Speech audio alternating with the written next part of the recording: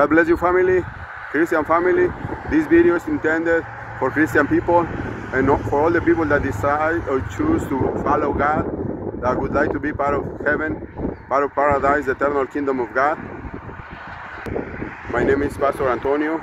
You can find me on YouTube as Pastor Antonio Alabale. Last night my daughter asked me, Dad, when is the rapture gonna take place? So I was thinking about it. And while we are not told exactly the date on the Bible, we are given clues as when is the rapture going to take place and i want to tell you that in the future there's going to be a war. Well actually that war is going on between israel and palestine but it's going to get worse and to such an extent that everybody's going to be involved in that war. And when they finally uh, reach a peace treaty they're going to divide israel in two and one half is going to be given to the Palestinians, and the other half is going to be given to the Israelites. When that happens, my beloved brother and sister, the day that they sign the treaty, that's going to be the first day of the countdown, and the Lord Jesus Christ is going to come back 1,325 days after that. On that very same day, a great tribulation is going to start against the saints, against the people that not only believe in the Lord Jesus Christ, but also obey the commandments and have the courage to reject the mark of the beast, the number of the beast, and also his name. So the beast is going to be given authority over all mankind for 1,290 days. And we are told in the Bible, blessed are those that can wait another extra 45 days because that's the day when our Lord is going to return. The Lord returns after the tribulation according to Matthew 16, 27. Not a personal opinion, but according to the Bible, my beloved brothers and sisters. So do not be deceived by the enemy. Do not be deceived by people. Do not be deceived by yourself. The Lord Jesus Christ comes after the tribulation. What many people believe is that the rapture is called the gathering of the first fruits.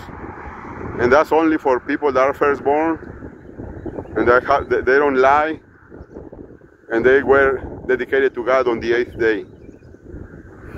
And he's going to choose 12 of each tribe for Israel, 144,000. That's, that's, that's the gathering of the first fruit of the harvest. But the bulk of the harvest will be after many people are decapitated because they choose not to allow themselves to be marked by the number, the name, or the mark of the beast. The beast is a man that is going to have authority for 42 months over all mankind.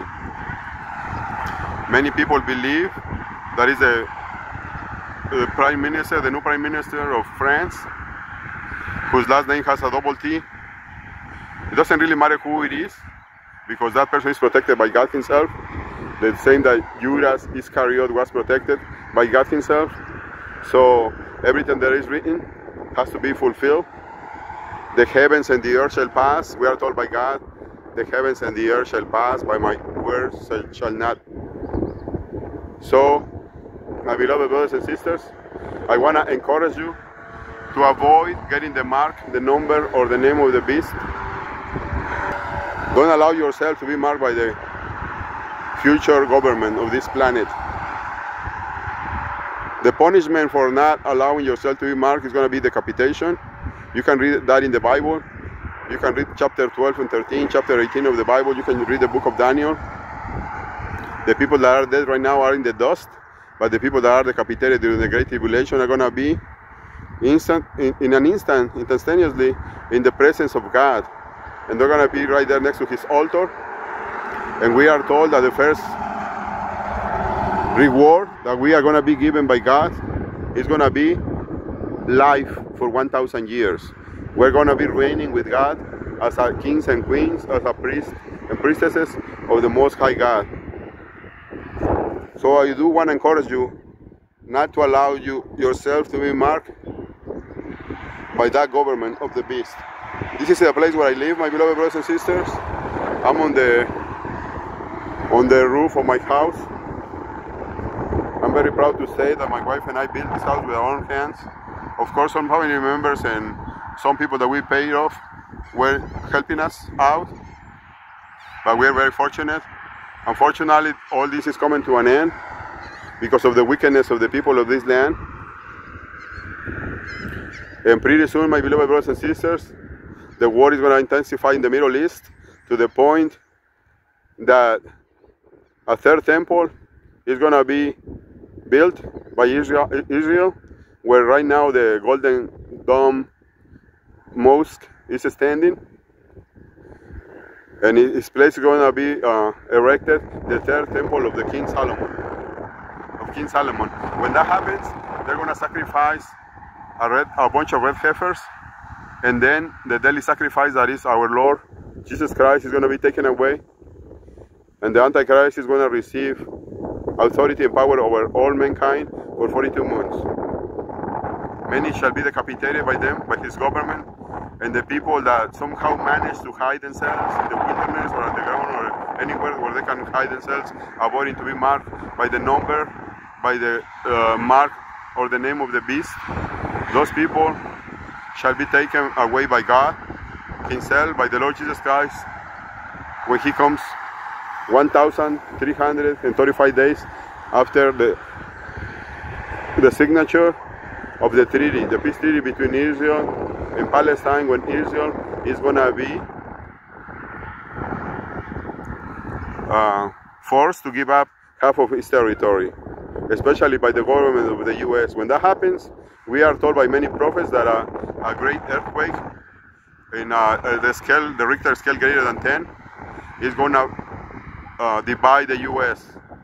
All Baja in Mexico, Baja California Norte and Baja California Sur is going to be lost. All the lowlands, like Miami, around Miami, NYC in the Empire State, all that is going to be lost. And the U.S. will have a different shape, and many people are going to be lost. But that's a different topic. God bless you. I, I encourage you to join the war for the salvation of the souls and of men and women. And on that war, my beloved brothers, if you have a ministry, share the Christian videos in your social platforms. Use it as a powerful tool to reach the souls and to put your grain of salt to save the unsaved. Again, this video is intended for the Christians, not for the heathen, not for the atheist people, but for the Christians and for all the people that would like to be part of God's kingdom. God bless you. You too, Pastor Antonio Alabale, A-L-A-B-A-L-E. I'll see you in the next video, God willing.